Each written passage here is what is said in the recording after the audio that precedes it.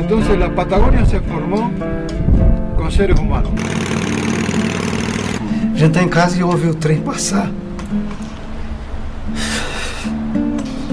É triste. El, el corazón está en la tierra y queremos seguir mejorando. Yo no sé realmente si no maté a un compañero mío en el medio del combate. A América é feita de gente com caras anônimas e histórias densas. Suas distâncias que separam pessoas e aproximam seus sonhos constroem uma identidade única aos que chegam e aos que por aqui habitam há gerações.